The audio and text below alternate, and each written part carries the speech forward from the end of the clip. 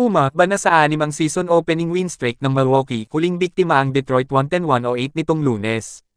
Nahulog sa net ang tie-breaking 3-pointer ni J. Holiday 45 seconds na lang at nagtuloy ang Bucks sa malinis na 6-0 start.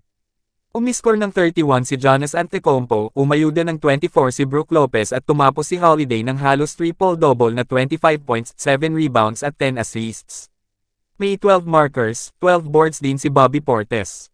Anim na players ng Detroit ang nagsumite ng double figures pero kinapos. Kumipa ng 27 points si Cade Cunningham, 23 kay Bojan Bogdanovic. Isang araw matapos itumba ang defending champion Warriors muntik na namang makasilat ng big-time team ang Pistons. Nagrally ang Detroit mula 16 point down para itabla sa 105-105. Sumagot si Holiday ng step back 26-footer.